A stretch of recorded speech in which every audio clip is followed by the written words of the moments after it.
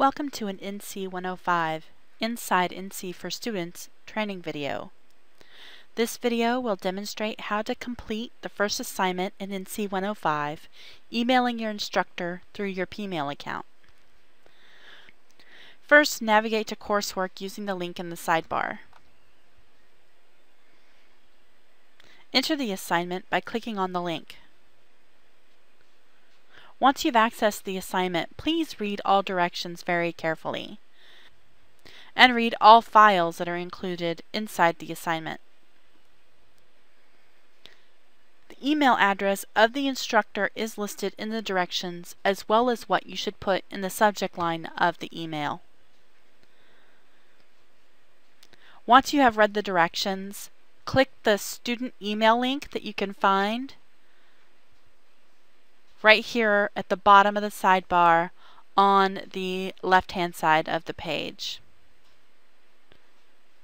This will open up a new tab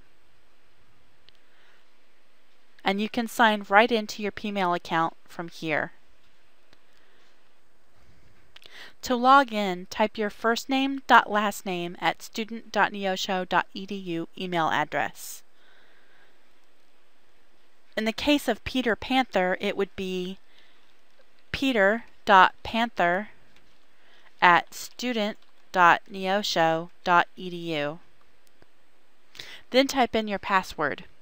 If your account was created before March 15 of 2011, then your default password is NC and then the last four digits of your social security number.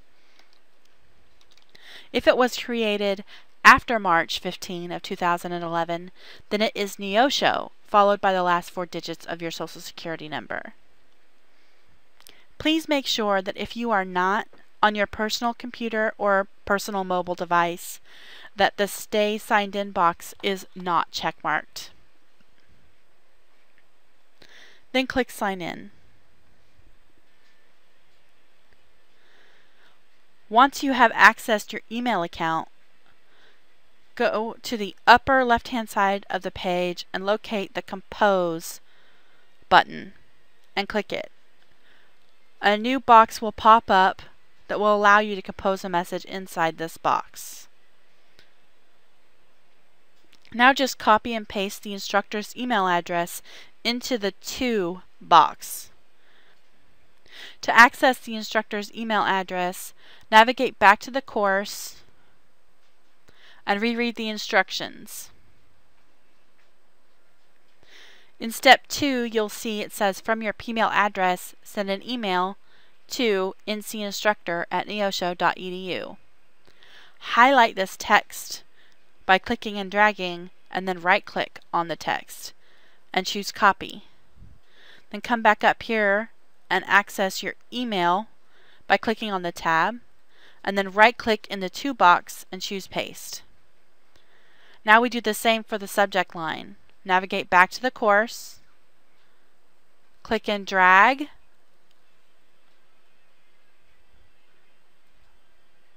right click and choose copy.